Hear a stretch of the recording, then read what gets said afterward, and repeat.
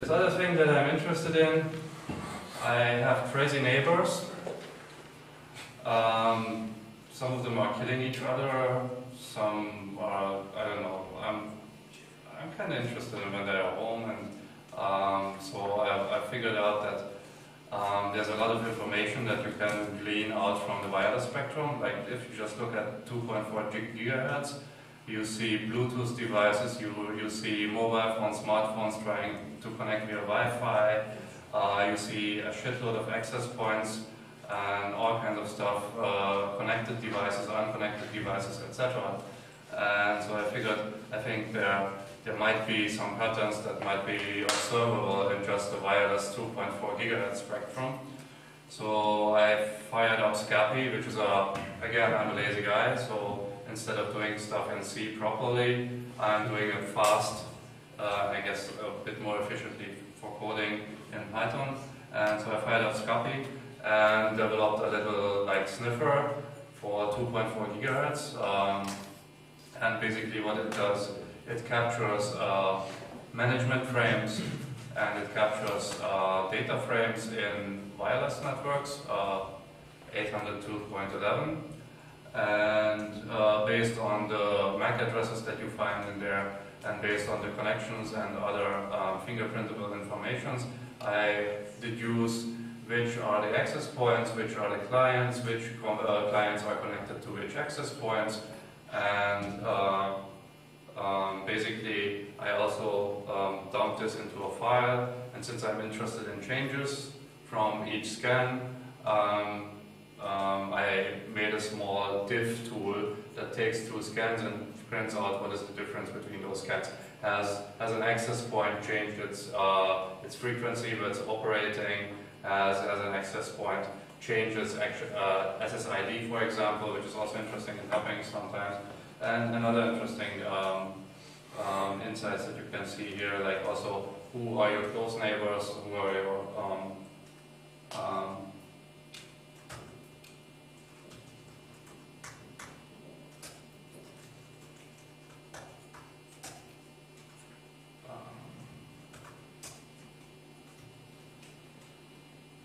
Oh, you don't see anything. Why? Ah, because we need to switch it over or there.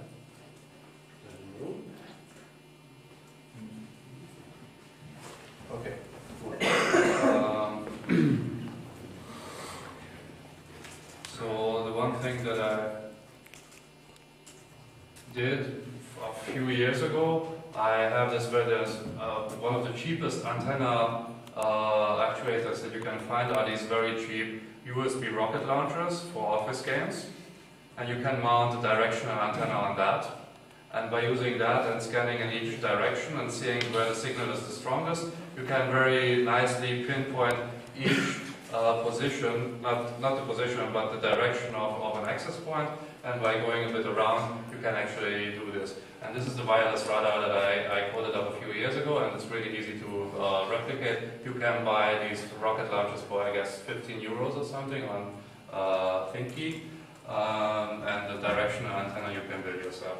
Uh, so this was like three years ago, and now uh, I combine this also with Bluetooth scanning with the same device because it's the same spectrum, uh, so you can pinpoint Bluetooth devices also in in, in space.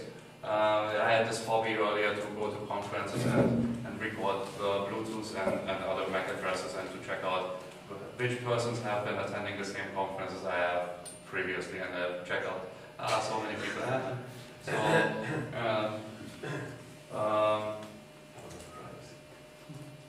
yeah, so basically this is a command that you can run and it compares um, uh, with the previous scan, but I'm not really interested in the previous scan now. So I'm just going to demo the latest tool. Um, and I think it's pretty cool because there's, uh, as far as I know, there's no such tool. But, okay. Can you increase the font size? Oh shit, yes, uh, different terminal. Where's that? Here, okay.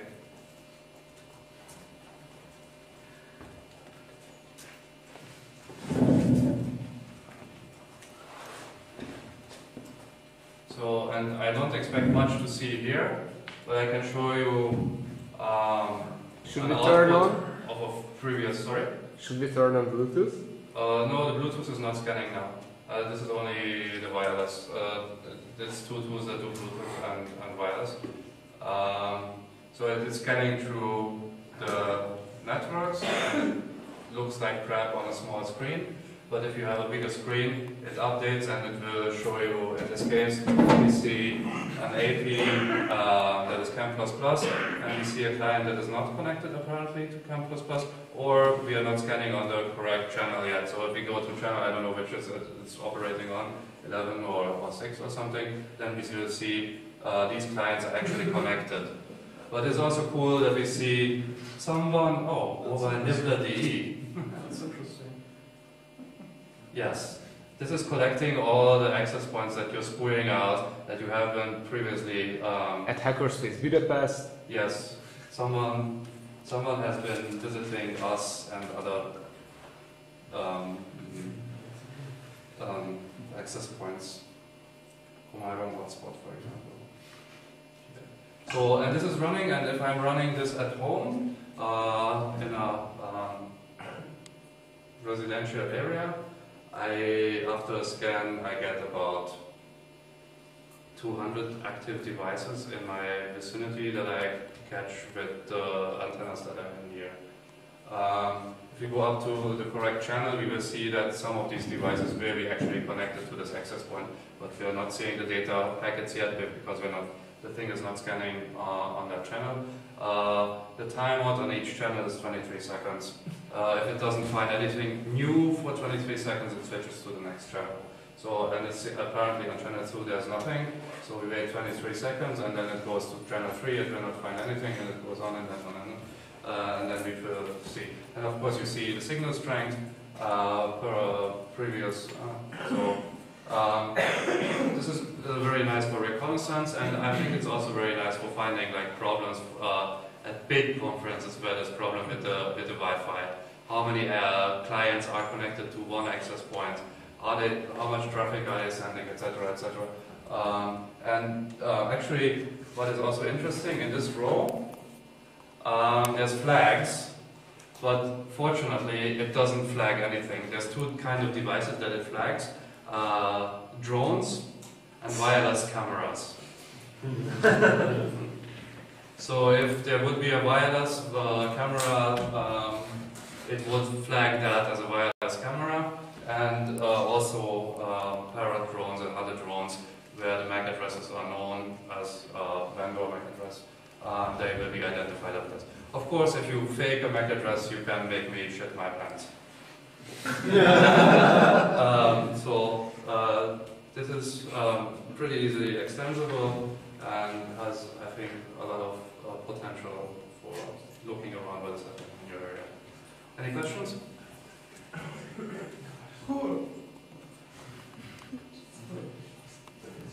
So I, um, I, I think I might I try show you uh, a scan. Uh, logs.